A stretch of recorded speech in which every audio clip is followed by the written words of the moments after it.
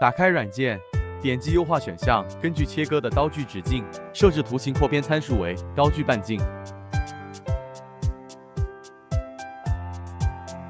鼠标点击确认按钮，设置完成，导入切割文件，点击文件打开，选择切割文件导入，切割文件为 DXF 格式文件，查看切割文件方向是否与板材放置方向一致。导入文件完成后，从左下角 Mark 点开始，沿顺时针方向。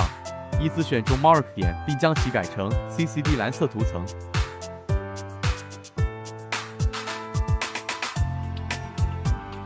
选中要切割的图形，根据机器配置将其改为主轴或者震动刀涂层。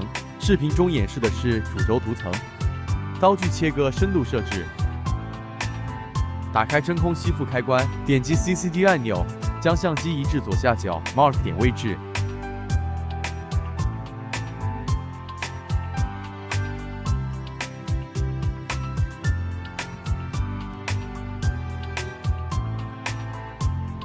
红圈与 Mark 点对中，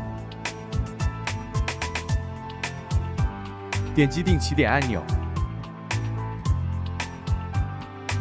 点击定位切割，机器进行四个 Mark 点依次识别，